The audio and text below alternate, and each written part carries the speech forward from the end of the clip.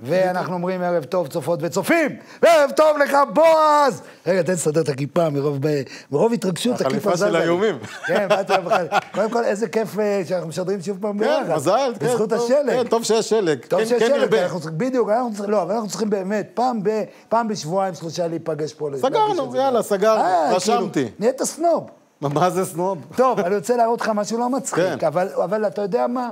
אתה זוכר, בחרו אותם, דה מרקר בחר אותם למשקיעים, למשפיעים ביותר במדינת ישראל. התקשורת היללה אותם, קשרה להם כתרים, אהבה אותם, פמפמה אותם. תקשורת השמאל.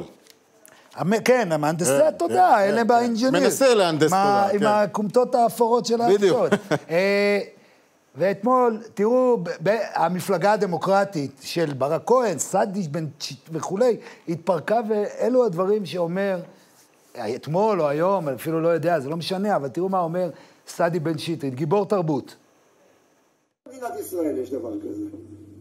בא יולי אדלשטיין, הסמרטוט מסיביר, מתלונן שמשרד הבריאות לא קיבל תקציבים כבר עשרות שנים. תגיד לי, החתיכת סמרטוט. אם כן, מר סדי בן שטרית קורא לשר, לשר הבריאות יולי אדלשטיין הסמרטוט מסיביר. עכשיו, יולי אדלשטיין היה אסיר ציון, הוא יצא נכה מהכלא.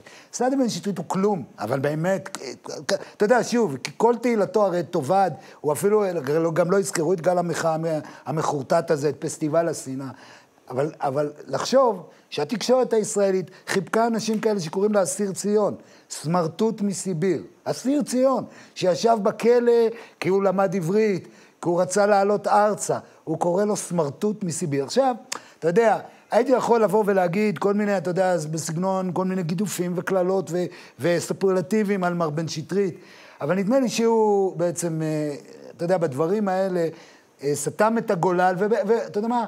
בעצם אה, מיצב, אה, ככה נראתה המחאה, ככה היא נגמרת. זה מה יש. בקול ענות חלושה, מפלגה לא הקמתם, כוח פוליטי אין לכם, כל מה שיש לכם זה קללות ושנאה, וזה לא טוב מה- מה לאור קורה- הפנים. מה היה קורה אם אתה היית מצייץ את זה? משהו על מישהו מח- מחברי לא, הכנסת? אני לא, לא, תקשיב משהו. לא היית מצייץ, אבל נגיד. לא, אבל אתה יודע? מה, זה אה. אפילו לא, לא באמת, בועז, אני אגיד לך את האמת, לא מעניין אותי, יגידו ככה, לא יגידו. זה היה הגיבור שלהם, וככה הוא מתברר, ככה הוא נראה. בוא נשמע עוד פעם, מה הוא אומר על אסיר ציון, יו, אתה יכול לא להסכים, אתה יכול לבקר את משרד הבריאות, אתה יכול לבקר את מדיניות הממשלה, אבל ככה יש הוא אומר. דרך, יש בוא דרך. נשמע עוד פעם, כדי שנדע. במדינת ישראל יש דבר כזה. בא יולי אדלשטיין, הסמרטוט מסיביר, מתלונן שמשרד הבריאות לא קיבל תקציבים כבר עשרות שנים. תגיד לי, החתיכת סמרטוט. שמאל ישראלי. מעניין, ליברמן לא מתייחס לזה? תשמע, הוא בא ממולדובה, זה לא לא מעניין אותו, כאילו... ליברמן, ראיתי, השתתף באירוע, אה, רגע. הוא, תקשיב, ליברמן זה בכלל... הוא עכשיו יש לו תוכנית כלכלית. ממשבר לצמיחה. ליברמן. כן, ממשבר לצמיחה. הבן אדם שהכניס אותנו למשבר, הוא רוצה עכשיו לתקן את מה שהוא עשה. עכשיו, תשמע, זה כל כך הזוי, כאילו, אתה הרי יודע שאתה לא תשב בממשלה הבאה. מה- התוכנית כלכלית? בשביל מה עשית? מה, בגלל שיש לך זמן פנוי, ואתה לא... ואתה יושב בבית מבלבל את המוח לא, הוא על יכול להגיד? תוך 48 כן, שעות. גם בתוכנית הזאת יש איזה מין סעיף כזה כן. של... אה, על הילודה החרדית, מעל חמישה ילדים לא צריך. הוא, אתה מבין? אה, הוא עושה כאילו... כן, כן, הוא כבר קובע כאן את מה. הד- המצב הדמוגרפי ליברמן, במדינת יכול ישראל. להיות שהוא יניח את התוכנית הכלכלית הזאת לפעולה אחרי שהוא יפציץ את הסכר, באסואן, אחרי שהוא יחסל את, אה, את הנייה, ואחרי שהוא ידאג שמי שאין נאמנות אין אזרחות, ואת כל שאר הבטחות הבחירות בתוך 48 שעות אנחנו יוצאים מהמצב בדיוק, הכלכלי. תוך 48 שעות ליברמן. מוציא אותנו ממקום טוב בכלכלה העולמית לבכלל, כאילו, לטופ של הטופ. טוב. ליברמן זה ביטקוין אה. עוד דבר, עוד דבר כן. קטן, אנחנו צריכים כאילו ככה, עד ש... תשמע, היום זה, חברים, חברות וחברים, היום יהיה יום קשה, היה לנו יום קשה בגלל השלג. כי אתה נשאר פה אולי, אני- קשה לך מאוד. לא, אני אומר, אתה יודע, אין לי סגרו את שער אנשים, הגיא עד אי אפשר להביא. אורחים, הכל בזום, אבל יהיה תוכנית אש, אש, מבטיח. מה שלא, מה- כל מה שבו אנחנו נוציא את זה. אה, היום סער תוקף את בנט פעם ראשונה, נכנס בו, הוא טוען שהשופרות של בנט, שופרות של הליכוד, של בי, של לא, בנט, כן. השופרות של הליכוד, הם אה, מפמפם, מהדהדים את בנט. למה? תשמע, קודם כל, אה, אה, תראה, שניהם בבעיה, גם סער וגם בנט. ואני חושב שדווקא הכותרות האלה טובות בשביל סער, אתה יודע למה? כי הבן אדם נעלם. שים לב בזמן האחרון מה יש עם סער? שום כלום. נעלם, נעלם, מאבד מנדטים, מאבד גובה. זה אחד לוקח מהשני. שניהם רוצים לקחת מהשמאל, מהימין הם לא יכולים לקחת, ואחד רב עם השני, מי מקבל יותר לא, מהשמאל. למרות שתשמע, אני ראיתי סקרים פנימיים, וראיתי את החלוקה. אתה סער מאמין מחזיק- בסקרים? לא, לא סקרים, סקרים של המפלגות עצמן. כן. אז בוא נאמר ככה, אצל סער יושבים שלושה מנדטים של הליכוד, וגם אצל בנט שלושה מנדטים אז של איך הליכוד לא ירד בסקרים? הליכוד הוא לא, היה יכול להיות... קודמת. בסדר, אבל הוא הגיע זה עדיין- ל-36 בבחירות הקודמות. שאלה אם כן, אבל גם המנדטים האלה בסקרים יחזרו. היה 28-30 וקפץ 30. אבל היום אנחנו ביום של מזג אוויר. כן, סער סוער. סער סוער ויהיה איתנו, בכל זאת יהיה איתנו מישהו. יהיה איתנו מתן כהנא מימינה. מעניין. ויהיה איתנו, בקיצור, יש לנו תוכנית אה, קדושה ומגודשה, ואנחנו ניתן את כל, אנחנו ניתן את, ה... את הכל על המגרש. אה, כקשר האחורי. אנחנו מקום ראשון, חביבי. חביבי, חביבי והליברו פה. שלוש קיבלתי. תראה, אתם ניצחתם אותנו מסיבה אחת פשוטה. כן. כולם בקורונה. מה אכפת לי? אה, מה אכפת? מי זוכר? ניצחו קבוצה עם קורונה. כן, טוב, כן. חברים, צריך להתחיל. כותרות. הערב בסיפור המרכזי, העסקה החשאית מעבר לקווי האויב. נמשכים המגעים לחילוץ הישראלית שחצתה את הגבול לסוריה. מחלת הפרוטקשן. תופעת גביית דמי החסות התפשטה לכל רחבי הארץ. אלפי תלונות על סחיטה בשלוש השנים האחרונות, והרשויות מתקשות לשים את ידן על העבריינים. 34 ימים לבחירות, המאבק על המצביעים במגזר החרדי עולה שלב, ואיך תמונה אחת שצולמה ביצהר גרמה לסערה פוליטית. בולמים את האג. הצעת חוק חדשה מבקשת לעצור את שיתוף הפעולה בין בית הדין הבינלאומי לפשעי מלחמה והעוול שנעשה לישראל. וגם, השלג כאן, הפסגות נצבעות בלבן, מזג אוויר סוער ברחבי הארץ. הסיפור המרכזי, מתחילים.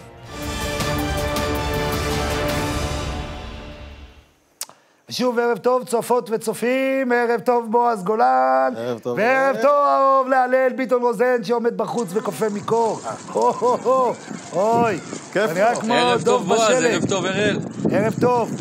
כן, בוא נתחיל בדיווח על האירוע. אתמול. עדיין אה, לא...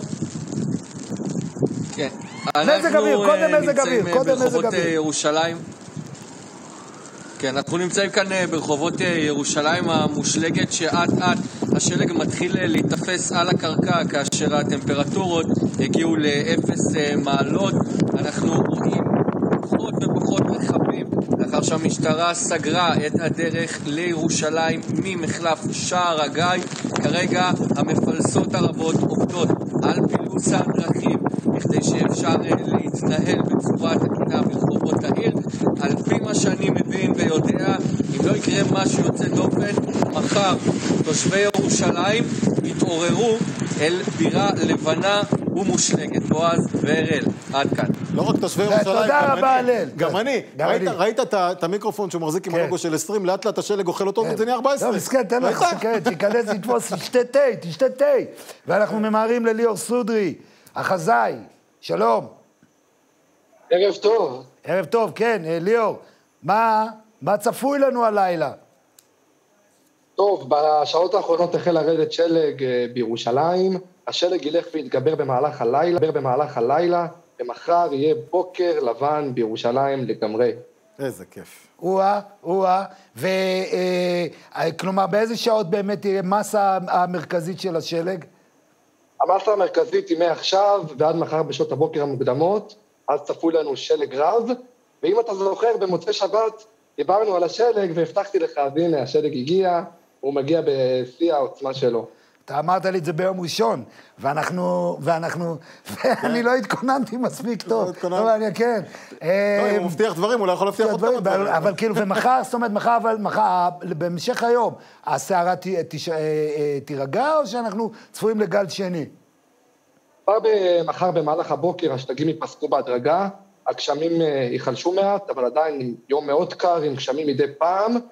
אה, לקראת שישי אנחנו מצפים להתחזקות אה, במערכת הגשמים, כרגע ללא שלגים אה, מלבד החרמון, ככה שגם שישי הוא גשום וקר מאוד, עם חשש להצפות במישור החוף. בשבת אנחנו רואים מזג אוויר קריר, ללא גשם, ואנשים מוזמנים פשוט לקום וללכת ולטייל וליהנות מהטבע. ליאור, ובשאר. הארץ, בשאר הארץ, מחר הסערה, לא כולם גרים בירושלים, כן? מה קורה, ב, ב, נגיד, באזור גוש דן, אזור אה, אה, גשמים. בצפון? גשמים יוסיפו לרדת מדי פעם, אה, קר מאוד. אה, מזג האוויר החורפי הזה, כמו שאמרתי, ילווה אותנו עד שישי בלילה, on the off. אה, חורף אמיתי, הגיע הזמן. זה אני צילמתי, בחוץ כאן, מחוץ כן, לארץ, אנחנו תראו רואים. תמונות של, אה, של אה, תמונות שצילם לנו בועז גולן, של השלג בירושלים, ואני מחזיק אצבעות לרכבת. מתלהב כמו ילד מהקריות. כן, כי אתה לא מכיר את זה. לא מכיר, אני הייתי באיטליה, אני צריך לראות שלג או בחרמון, אבל... תשמע, אני, ניצול אה, ש- חורף 93 בניו יורק. וואו, וואו, כל העולם סבל, כן, כן. אז אני כאילו, אז אני כאילו רואה שלג, אז אני זה- אתה יודע, פחות מתלהב. עזבו אותי בשקט. כן, אתה יודע, זה לא... זה- מחר אני במילא אצטרך להסיע את הילדים, לראות וכולי. טוב. ליאור סידרי, ליאור סידרי, תודה רבה לך, אולי נחזור אליך בהמשך. ועכשיו אנחנו חוזרים להלל ביטון רוזן, עכשיו לא על שלג. בדיוק התחלתי הנה, עכשיו אה, עם דיווח על, אה, על האירוע הביטחוני המתגלגל. כן, אז uh, אנחנו, לפי מה שיכולים לספר הערב, אפשר כבר להגיד שמדובר על צעירה ישראלית, תושבת אזור uh, מודיעין, שחצתה לפני מספר ימים ביחד עם מי שכנראה הוא בן זוגה דרך מעבר קונטרה לתוך uh, שטח סוריה. הצעירה מוחזקת uh, כרגע בתוך uh, שטח סוריה. הפרטים אצל מי, אנחנו פחות יכולים כרגע לדבר עליהם, אבל מה שכן אפשר להגיד, שהערב יצא ראש המל"ל ביחד עם מתאם הנעדרים והשבויים של מדינת ישראל אל מוסקבה במטוס עסקים, והשניים למעשה מתחילים את המשא ומתן שבו כמובן שותפה רוסיה כצד שלישי על מנת לנסות להשיב את הצעירה כמה שיותר מהר. על פי דיווחים זרים, מה שהסורים מבקשים בתמורה הם ראשית שני אסירים שמוחזקים אה, בכלא הישראלי וכנראה שגם רוסיה, גם היא תוסיף כאן בקשה משלה על העברת חיסונים לתוך שטח אה, ישראל, ארץ ישראל כמובן, בו נמצאים אה, תושבים אה, ערבים ביהודה ושומרון וגם כנראה בעזה. על פי מה שאני מבין כרגע, המשא ומתן לפחות הערב עדיין תקוע, אין בשורה בחזרתם של ראש המל"ל וגם של אה, מתאם השבויים והנעדרים, אך גורם מדיני בכיר אומר לנו הערב, אני לא דואג, תוך כמה ימים סיפור הצעירה יסתיים. תודה רבה, הלל ביטון רוזן. כן, תיכנס מה פנימה. מה שמעורב נתניהו ופוטין, הדברים האלה בסוף מסתדרים. כן, אבל אני- יש תשלומים, ואני גם, אני אני באטרף מכאלה שעוברים... כן, אבל ככה, מה תעשה? מה, זה באמת איך שאלה... עוברים גם? איך מצליחים לעבור? א', תראה, כי קודם כל, אנחנו, אתה היית חירניק, אז אתה מבין, אתה יודע מה זה פרש טורקי, הרבה יותר קשה, הרבה יותר קשה שאתה אתה, אתה בעצם עובד, כל, ה, כל התפיסה שלך, כל הפרספשן שלך, זה מישהו שייכנס מהצד השני, לא מישהו שיעבור אותך מאחור. אתה לא יודע מה. הזכרת לי עכשיו שאמרת פרש טורקי. האינדיקציות. האינדיקציות, אה, אה. יהיה לנו, יהיה לנו, יהיה לנו אינדיקציות? יהיה לנו בתוכנית, יהיה לנו, אל. תדאג. נעשה? אישורים, אינדיקציות. אה, מנדלבליט, סבבה. אצלי תמיד יש אינדיקציות. אה, כן. טוב, עכשיו אנחנו לנושא אחר, והנושא האחר אה, מתקשר, הוא לפרוטקשן.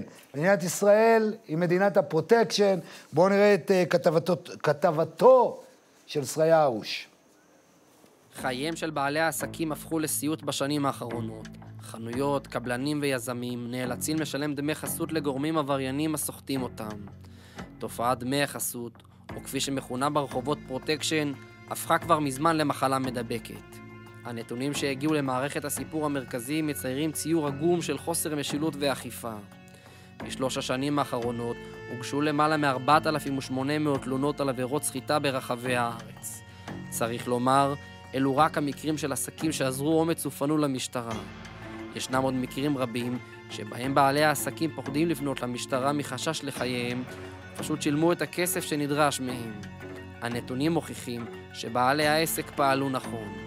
הנה עדות מצמררת שהגיעה לידינו. פתחתי עסק עם חבר במרכז הארץ. ביום הראשון קיבלתי טלפון ובו נאמר לי, אם אתה לא רוצה צרות לעסק שלך, יש מונית בחוץ. צא עכשיו, תביא אלפיים שקל. בהמשך חויבתי לקנות מספק מסוים במחירים שגבוהים בהרבה משאר השוק.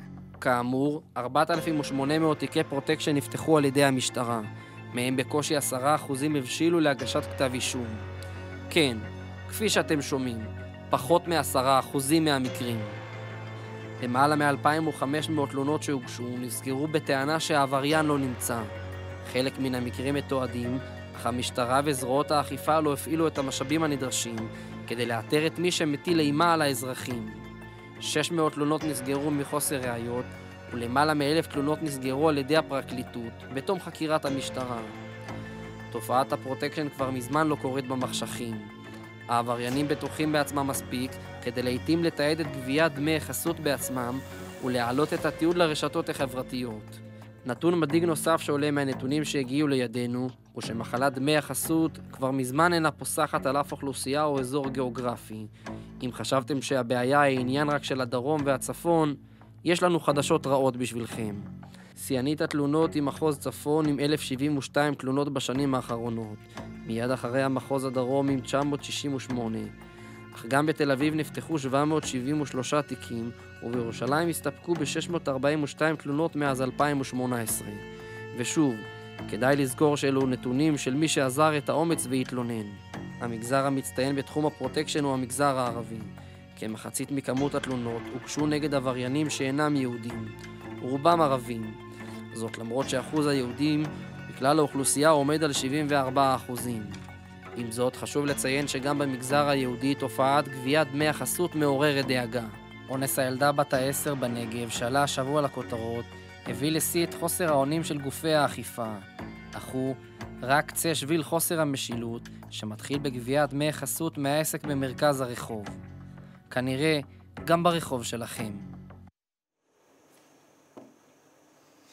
טירוף, טירוף. אתה רוצה לשמוע סיפור? בטח. לפני כמה שנים טובות מספר לי בעל עסק, אה, עד היום העסק שלו קיים בקריות, שנכנסים אליו שני עבריינים, כל אחד מקרר המאנה, לא, יהודים לא או סתם. ערבים? יהודים. יהודים, כאילו בוא נאמר, אה, זה גם יהודים וגם עבריינים מהקריות, אה, מן הסתם הארגון שלהם מוכר, וזה, אני לא כן. רוצה להיכנס עכשיו כן. לשמות. אה, הייתי גם כתב פלילי בזמנו, אז ככה... בכל זאת אתה לא רוצה מטען מתחת לאוטו? אתה יודע, זה נחמד. לא, שכירות, אה, אוקיי. תרים אותו, אין בעיה. בכל מקרה, תשמע, הם נכנסו אליו אה, לעסק, אנחנו רוצים כסף, אנחנו נאבטח לך, נשמור לך, הוא אומר, אבל יש לי את שלי, אני לא צריך. אני מזכיר לך שלפני כן. כמה שנים גם חייבו עסקים לשים שומר. כן, בגלל. הפיגועים. זה היה אז כן. בתקופות האלה, ונשארו עם שומרים, הוא אומר, יש לי. אמרו לו, לא, אנחנו נשמור לך. לא, הוא מי אתם, מה, מה, מה. למחרת, שרפו את כל המקום. שרפו.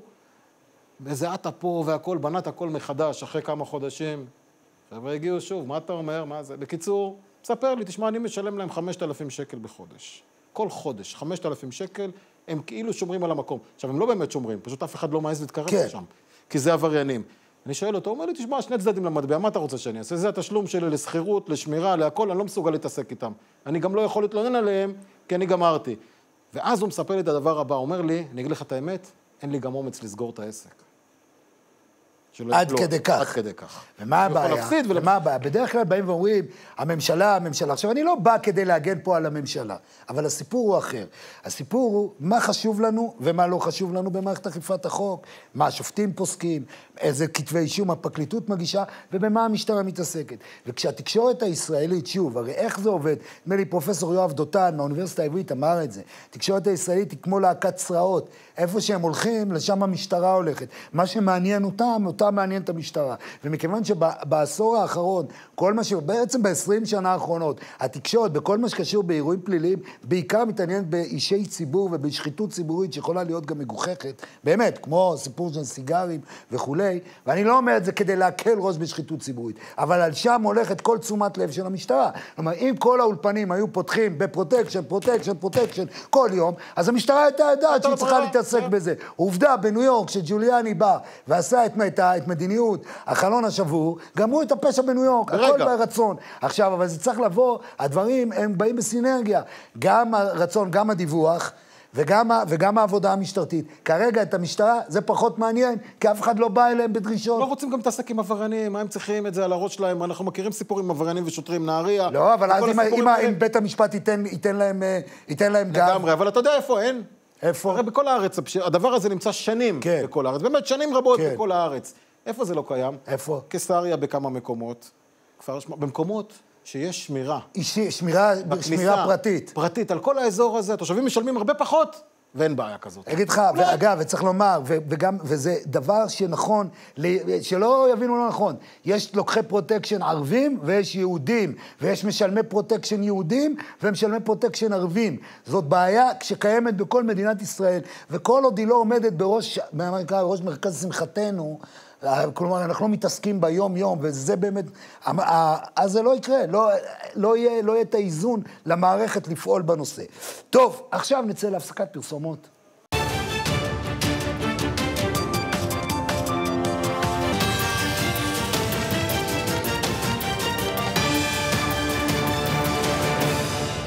ושוב ערב טוב צופות וצופים, שלג בירושלים, עיר הקודש, בירתנו הנצחית לעולמי עד.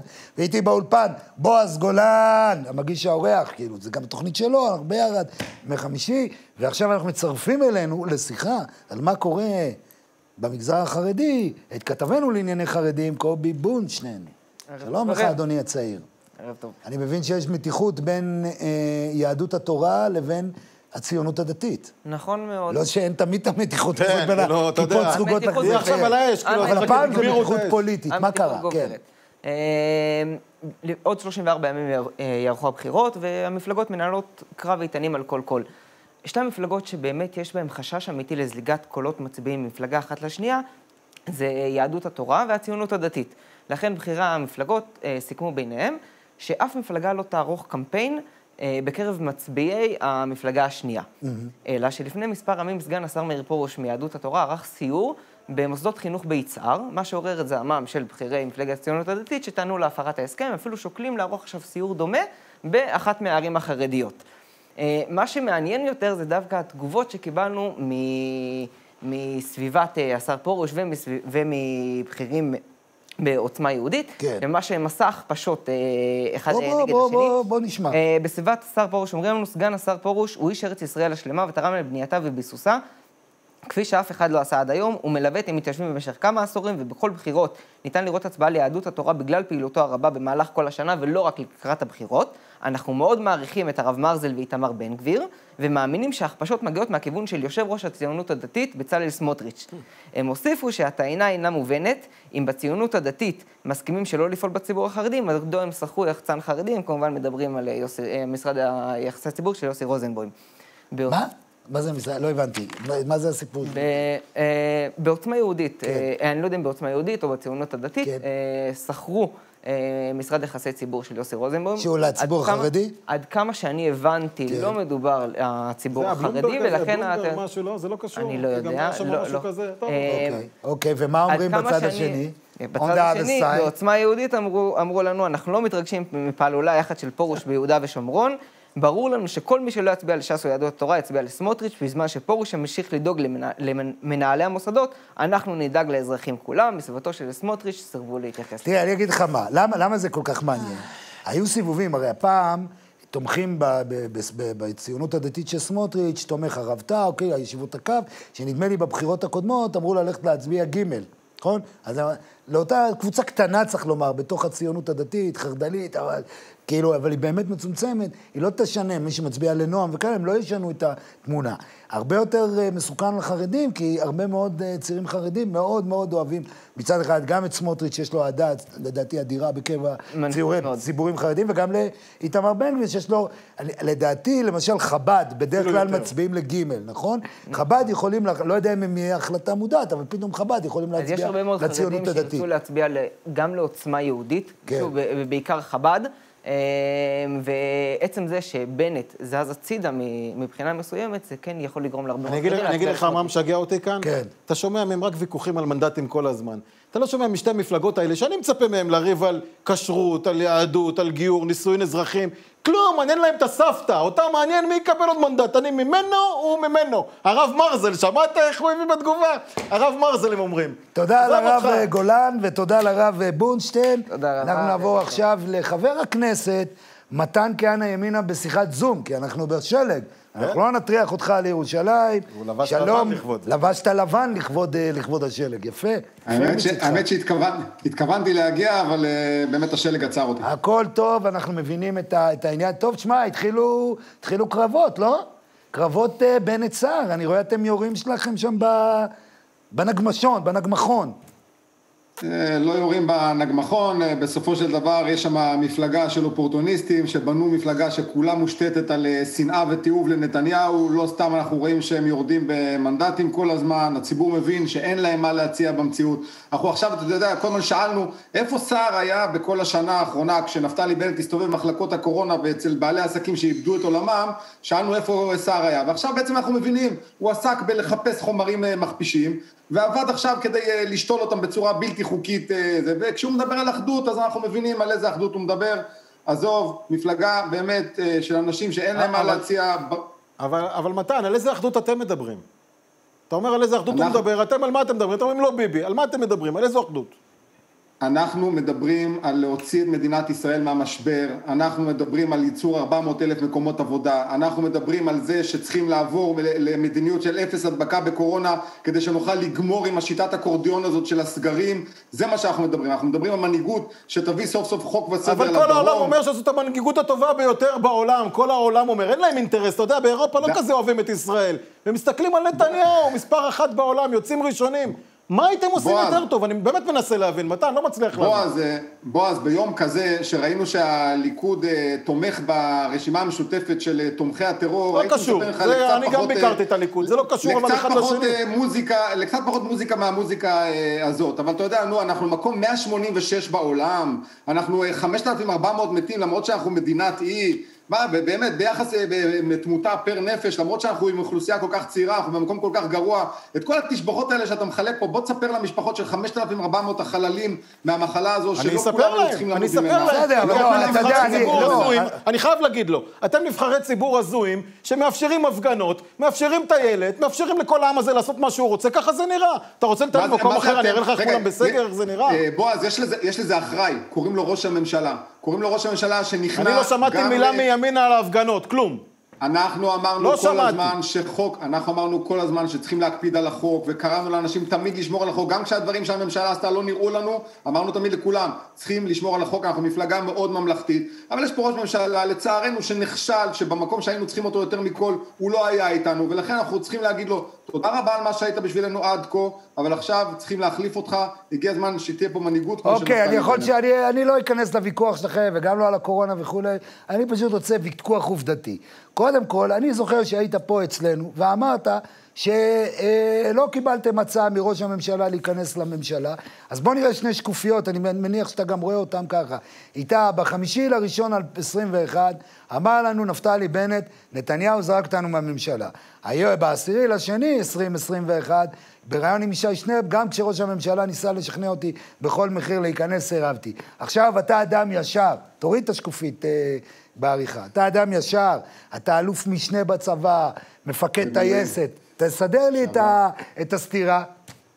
אני לא כל כך מבין את הסתירה הזו, אנחנו אה. אמרנו בצורה מאוד, אנחנו אמרנו בצורה מאוד ברורה שלפני שהכנסת הזאת אה, התפזרה, ראש הממשלה בא עם הצעות מאוד מאוד אה, מפתות למנהיגים שלהם, לנפתלי בנט, הציע הצעות מאוד מפתות, אבל אנחנו חושבים שראש הממשלה פשוט נכשל בתפקידו, וצריך להחליף אותו, אנחנו לא רצינו להיכנס לממשלה הזו בעד כל התיקים וכל ההבטחות שבעולם, זה לא רלוונטי, את ראש הממשלה צריך להחליף כי הוא נכשל, והעם יודע שעכשיו מי שיודע להביא 400 אלף מקומות עבודה, מי שיודע להילחם בקורונה באמת, זה רק נפתלי בנט. טוב, העם יודע, אתה יודע, העם יודע העם צריך להחליט בסוף לשים, אתה יודע, פתק אחר פתק, ככה קראו לזה, אבל... דרך אגב, אראלה, אתה יודע, אני, אני באמת, אה, ביום אה, כזה, שבו אה, הליכוד ברח מהצבעה על פסילת בל"ד, על פסילת המשותפת, על פסילת רע"מ, זה פשוט הזוי עדיין, המחשבות האלה ש...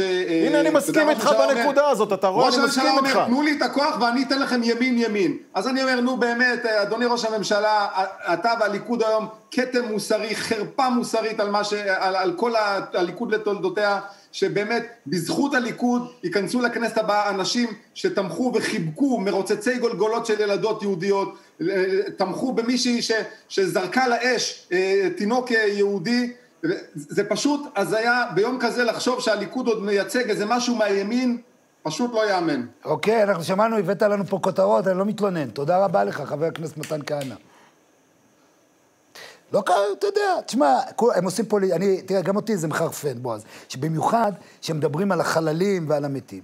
כי מה, בעולם לא מתים אנשים, זה לא מגפה, האם במלחמה אין טעויות ובניהול, הרי ברור, אמרנו כל פתיחת כל אדם. הסגר בהתחלה, לא, עזוב. אני אפילו לא נכנס, הם לא ניהלו את זה, הם היו מבחוץ. אבל מה, אתם קיביצרים, אתם עומדים מאחורה ככה, משחקים שחמט, נותנים עצות, אתם הרי מבינים שאין פה, אין פה נכון, לא נכון, מדויק, לא מדויק, תוכניות, לא תוכניות, הכל משתנה, הכל דינמי, מי ידע? אז מה, הדבר היחידי שאנחנו יודעים זה שאנחנו המדינה הראשונה שעומדת לצאת מהקורונה בזכות זה שראש הממשלה, כן, מה לעשות, הבין את החשיבות של החיסונים והלך על זה בכל הכוח. עכשיו, סבבה, להאשים אותו במותם של אנשים נראה לי מעט מוגזם, גם...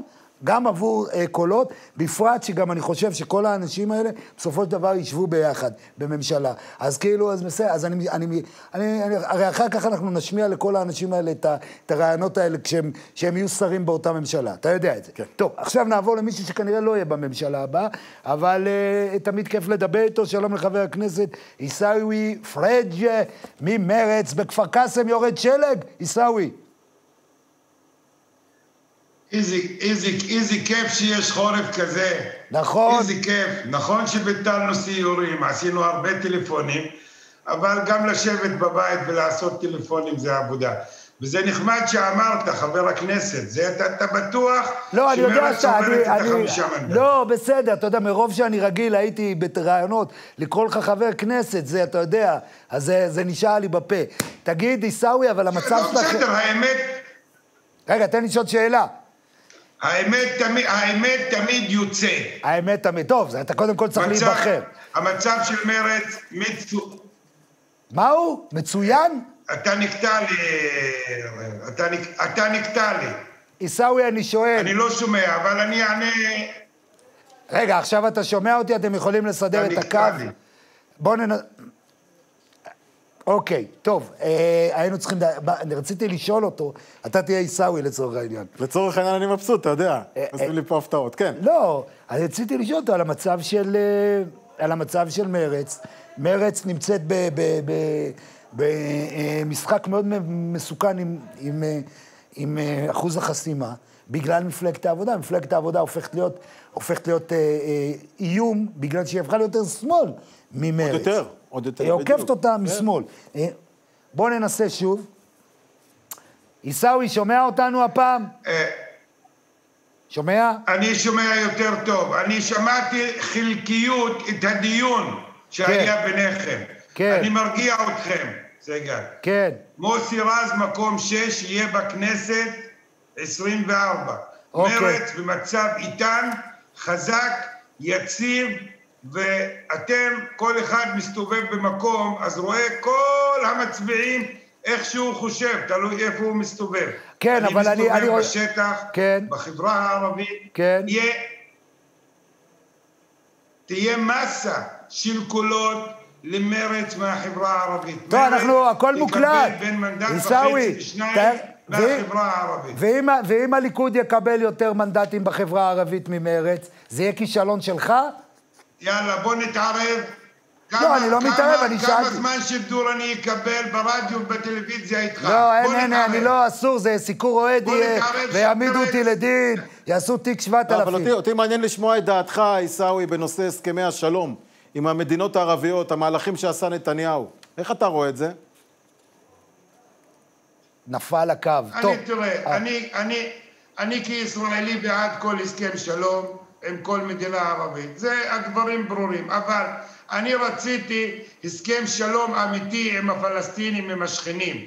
אני לא רוצה הסכם כלכלי, נורמליזציה. אני רוצה שלום. שלום עושים עם השכנים שאתה נמצא איתם באיבה ובמתח. כל הסכם שלום הוא מבורך. עובדה שהסיעה שלי הצביעה בעד.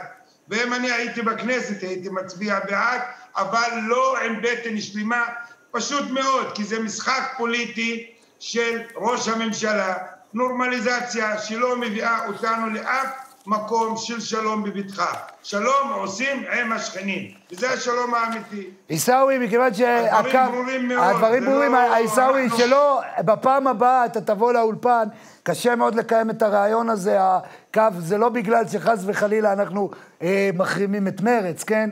אז אנחנו נאלץ לסיים את הרעיון כאן, כי אנחנו בקושי שומעים אותך ואתה אותנו, אבל אנחנו נ, נ, נפצה. אתה, אתה, אתה, אתה, עוד משפט, אתה נרתעת, נרתעת מהשישה מנדטים של מרצ. נראה לך? אני הייתי רציתי לשאול אותך, למה אתמול יאיר גולן לא הגיע, נראה. למה יאיר גולן לא הגיע לפגישה עם הציבור הערבי? מה, אתם מחביאים את יאיר גולן? תהליכים, תהליכים. אתם מחביאים את יאיר גולן, עיסאווי? לא, לא? כנראה, כנראה לא היה לו זמן, יאיר גולן, יש לו יתרון יחסי איפה שהוא נמצא. אוקיי. אני ערבי, צריך להיות אצל הערבים.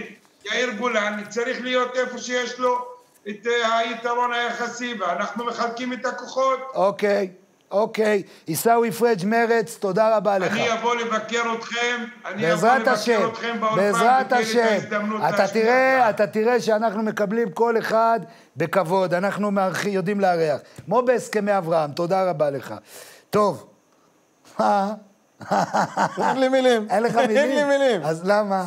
למה מדברים לו? תשמע, תראה, הוא נתן פה כותרת. כן, נתן כותרת. הוא אמר? אם הוא היה בכנסת, הוא היה אה, מצביע בעד. הסכמי אברהם. כן. שזה יפה, זה כותרת. עכשיו אנחנו ממהרים לתל אביב, לגלעד צביק, ישראל היום. שלום גלעד. היי, מה נשמע? מצוין. עכשיו אנחנו הולכים לעסוק... אתה שומע אותנו? שומע? לא שומע? רגע, תעבירו אליי את השידור, תסדרו איתו את הדברים, שלג על אצלי עוד האנטנות פעם. פה נראה לי היום זה... שמע, גלעד, האם שומע? עבור. גלעד, האם שומע עבור? עבור טלפונית. יוסטון. טלפונית.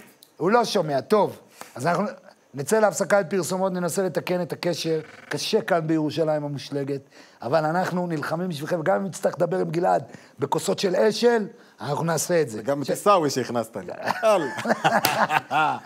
איי, תישאר פה היום או תיסע הביתה, אל. איי, אמרתי לך, על השטיח אצלך, יאללה, אתה כן, על נו, השטיח. יאללה. נצא להפסקת פרסומות.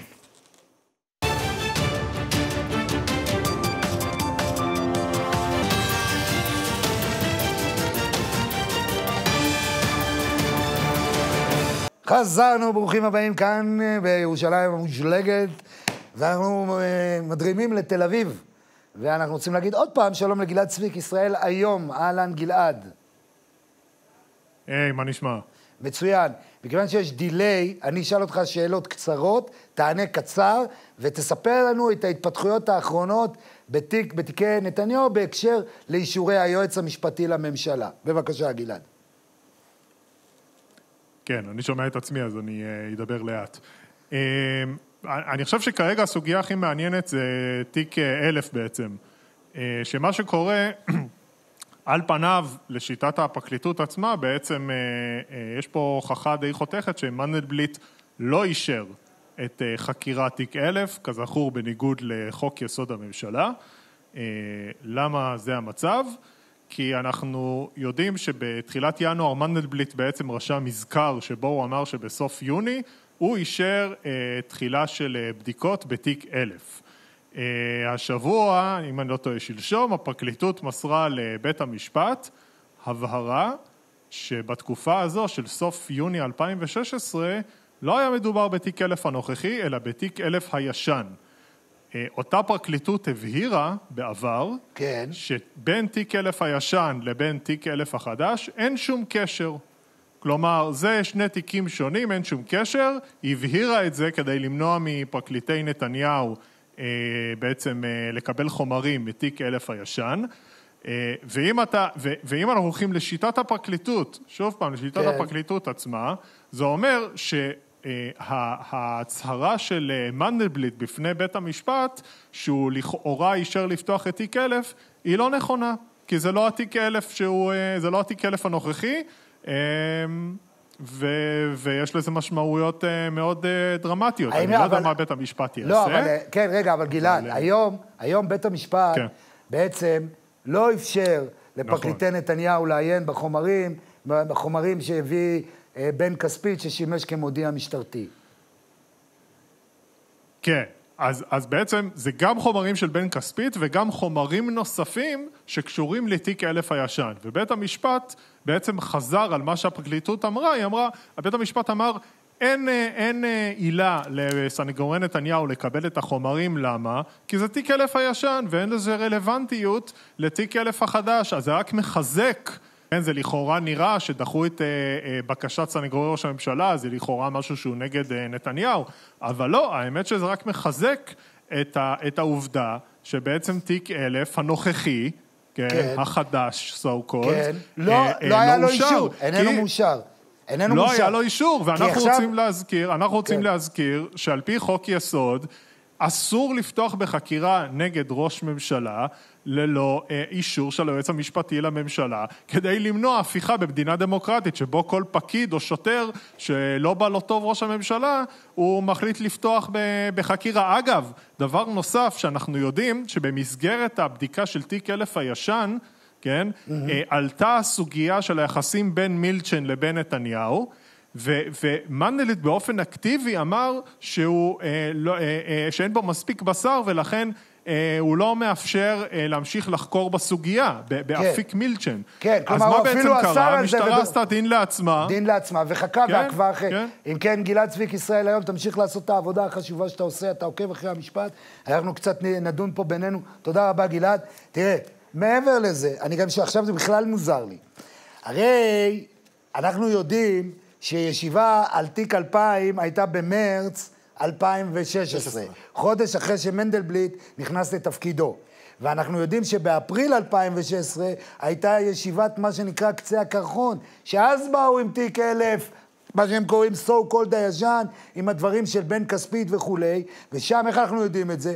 הייתה כתבה של דנה וייס, עם מנדלבליט שבא מאופר, בטעות, בטעות, פגש ברחוב, אותה, כן. ושם הם אמרו, באפריל הייתה ישיבת קצה הקרחון, ומנדלבליט אמר להם, מה אתם מבינים, רכילויות, וזוטות, כן, ושטויות, מתייחס, התפתחו בדבר." וכן. אז מה, מה קרה בחצי השנה הזאת? מי נתן שם אישורים? איפה האישורים לדברים האלה? אלא אם כן, יש המצאה חדשה. נולדה, יש חקירה, יש בדיקה לפני חקירה, ויש את הילד שלהם, הבדיקה שלפני הבדיקה לפני חקירה, לפני חקירה. כן, שני דברים קטנים. אחד, אם אתם יכולים להראות לי שוב על המסך את האישור הזה הנעלם, כמו שהיה כתוב, ויש לנו את זה. שמע, קודם כל אני חייב, בוא נתקן את עצמנו, זה לא אישור נעלם, אין אישור. האישור לא נעלם. כן. פשוט לא קיים, אין אישור. עכשיו, למה אני מראה את זה? כי אני הולך על הצד של מנדלבליט. אני עד היום, כל יום אנחנו מגלים עליו כן. דברים חדשים, על החובבן הזה. לא מבין, לא יודע להתנהל. אתה יודע, כשאתה תופר לראש ממשלה תיק, אתה צריך גם לדעת לעשות את זה. לפחות ב... הוא לא יודע להתנהל. חושב שהוא נגרר. וזה מביא אותי עוד יותר להבין איך לעזאזל נתניהו ו- ו- ושקד וכל אלה קיבלו. אהוד ברק הזהיר אותו, אהוד ברק נכון, הזהיר לא אותו. יודע. טוב, עכשיו אנחנו עוברים למשהו יותר חשוב מהכל, כי זה בית המשפט, זה הבית הדין הבינלאומי בהאג לפשעי מלחמה, ועל רעיון איך למנוע מישראלים לפגוע בישראלים. שלום לעורכת הדין ניצנה דרשן לייטנר אה, באולפן בתל אביב. שלום, אה, גברתי. ערב טוב, אראל, ערב טוב, בועז. אז אני, מכיוון שאנחנו, שוב, בגלל ה buffering, אני אשאל שאלה ותעני מה שנקרא אוטוסטרדה. מה הצעת החוק ומה מה היא מכוונת לעשות ומה את מקווה שהיא תעשה? תראה, בית הדין החליט לפתוח אה, בחקירה וקיבל אישור של אה, בית המשפט לצורך כך. אה, אין לנו אה, להשפיע יותר על בית הדין, אלא על מה שיש אה, ברשותנו, והוא מה שנמצא בתוך מדינת ישראל. החוק הזה אוסר על כל רשות במדינת ישראל לשתף פעולה עם בית הדין. החוק הזה אוסר על גורמים זרים, שאינם אזרחים של, במדינת ישראל, לשתף פעולה, למסור מידע לבית הדין. והחוק הזה אוסר גם על אזרחים ישראלים, אם הם רוצים למסור מידע, אם יש, הם בכל זאת אה, קפץ עליהם משהו ורוצים אה, לשתף פעולה עם בית הדין, לבוא ולמסור דיווח לרשויות המתאימות על איזה מידע הם אה, מוסרים. כוונת החוק היא פשוט לסכל כל חקירה של בית הדין באמצעים שנמצאים ברשותנו.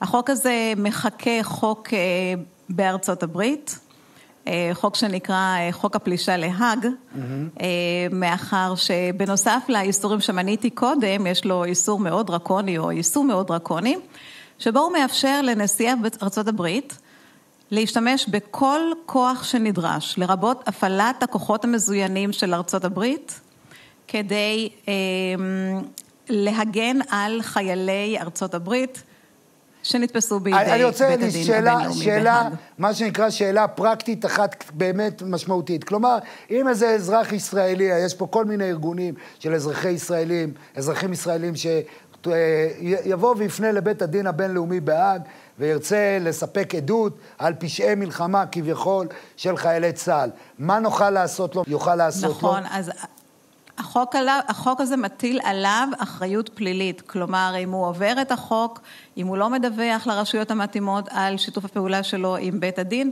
הוא עלול לשאת בעונש מאסר. ממש כך. כן, רק צריך להתחיל את זה קודם כל כאן בארץ, שוברים שתיקה, בצלם, הם נותנים כאן עדויות. בוא נתחיל כן, עם לא, זה אבל, כאן. אבל לא, אבל פה, פה עדיין יש, נכון. יש פה כן, חופש דוח, ביטוי וכולי. לא, לא, וכאלה, יש- אתה יודע לא. בסדר, יש פה משהו אחר, צריך לעשות הפרדה על- בין חופש הביטוי בארץ לבין, אה, לבין ללכת ל- למדינה זרה ובעצם להפעיל, לקחת חומרים ולתת אותם לבית דין שיפעל נגד חיילי צה"ל. אה, הבדל מאשר זה, לדעתי. לגמרי כך. טוב, אני קורא ל... טוב, ניצנה, שיהיה. בהצלחה, שיהיה בהצלחה. באמת, אה, אני. מקווה שיהיו חברי. כנסת שיקפצו על העגלה הזאת ויובילו את החוק הזה. ואגב, אפשר לפגוע גם בפטורים ממס. ארגון כזה שעושה דבר כזה, טראח, לקחת לו את נכון, הפטור. נכון, נכון, כן, כן, בחוק, נכון, יש סנקציות כן. כלכליות, נכון, ולוקחים את האישור במס של ארגונים שפועלים בצורה הזאת לגמרי. כן, המטרה היא אחת, לסכל כל אפשרות של שיתוף פעולה עם בית הדין. עורכת הדין ניצנה דרשן לייטנר, באולפן בתל אביב, אנחנו מאוד מודים לך, וגם על העבודה החשובה שאת עושה למען עם ישראל. תודה רבה לך. תודה, אפשר- תודה. אפשר להחליף את האג בהב. הב הב, הכלבים נובחים, שיירה עוברת. לא, אבל תשמע, זה עדיין משמעותי, שזה אנשים יכולים לרדת ב- ב- במדינה הזמן מסוימת. שגם אנחנו מתחילים סנקציות על ארגונים כאלה ואחרים. לא, אני, בעד, אני בעד. אני גם בעד, כאילו, שוב, אני פחות אוהב את האיומים, אבל עזוב, נו, בוא נראה מה יקרה. תראה, מישהו יצטרף אלינו לאולפן. הנהג, הנהג, הנהג שנוסע... מוטרד. ערב טוב. איך היה להגיע ל... באתי בדיוק לפני שסגרו את הכביש. אה, אני לא יודע איך אני אחזור. ברכבת, אני חוזר אה, ברכבת. מוטרד, באמת? כן, יש רכבת. לא, אבל הוא סיפר לי שאתה, אין לך בעיות. לא, אמרתי לו שאתה נהג אה, אש. כנראה לי זה... אני חייב לספר באתי לך לו איך סיפור. נסענו, איך נסענו כשהיה, כשהתחילה מלחמת לבנון השנייה, ממרר לצפת. שחשבתי שאתה כאילו משוגע. אז בוא אני אספר לך. מדונה די קמפיליו יספר לך, בדיוק לפני שנה. הבן אדם לא יודע סקי, מגיע לשם, לוקח לו מאמן. בוא, אני אלמד לך את הילדים, נותן להם לבד גם כן. ופתאום אתה רואה אותו יורד מהשחור, מהכחול, אין לו, אין לו מעניין אותו כלום, לעוף מההר, אין פחדים, האיש לא מפחד. תראה איזה לא שקט. עוד סיפורים פה? לא, מישהו? זה- לא, כאילו- מה, הוא מעריץ אותך, מה אני תודה עושה? אני שקיבלת, פחות. תודה שהזמנתם אותי. לא, שלום, אתה ממש מוטרד מה קורה מהשלג. שאתה פה היום, תגיד לי? שלג, אני מהקריות, רוצה לראות שלג. אה. רצית לראות את כן, השלג? ילד קטן. הילדים שלי גם רצו, כן. הנה, אתה רואה? כן. מה, תיקח אותם מחר? אם ת- יכול לא, אתה להיות, תישאר יכול פה. להיות. יכול- הוא לא מעניין אותו. מה שלומכם ככה? יכול איך, אה, כן. מה שלום דלית? בסדר, ברוך השם, מה שלום גיתית? בסדר, ברוך. השם, איך יופי. תחזור הביתה? אני אחזור באוטו. באוטו, אתה, כן, נפת- הכביש סגור. הכביש סגור, אבל הכביש ייפתח. כן. יש אה, מפלסות. שמים מלח. זה הכביש, אתה יודע, אם הכביש הזה יישאר סגור, אז לאן אז נגיע? הגענו? אז לאן- יש יש לנו ראש ממשלה, אני סומך עליו. אני, ראש הממשלה, תפתח לנו את הדרך, הלו. בשביל מה אנחנו שפרות? תגיד לי, מה מה יש לכם בתוכנית היום? מה יש לנו? יש לנו אה, שלג, יש לנו פוליטיקה, יש לנו אה, משוגעת שעברה לסוריה. כן. איך אנחנו עם מדינת אי עוברים לסוריה? אני לא מבין. זה כאילו, מדינת אי מיוחדת. אתה זה מבין? מדינה, כן, כאילו, היא היא סחטה לסוריה, סחטה. עשרות קילומטרים לסוריה. אז כל מטורלל עכשיו היא מחזירים מתנגדת אותו, אני לא- לחיסונים. למה היא לא יכול נשארת? להיות שהיא מתנגדת לחיסונים. למה לא משאירים אותה שם? למה יד לאחים לא מציגים, מצילים אותה, כאילו? לא, אבל האמת, מה היית עושה? באמת, אם אתה עכשיו יושב ראש ממשלה, יש לך כזאת מטורללת שם. נניח, לצורך העניין, אם היא מטורללת. לפי פרסומים זרים, כן. מקוללת. כן, מה היית עושה? אוקיי. לא יודע, לא בטוח שהייתי משחרר אותה. משחרר בשביל ה... כנ"ל לסיפור בעזה? זאת אומרת, לא, אותה בשמחה לא, לשחרר, ב- רק כן. אה, בשביל לשחרר מחבלים... אה, אבל בא לך פוטין, אומר לך, אני... פוטין. מה פוטין? הוא מה אומר, אני לא? מביא אותה. אז לא נותן אז אותה. אז לא נותן, שישאר מה- שם. מה, כן, עוברת לסוריה?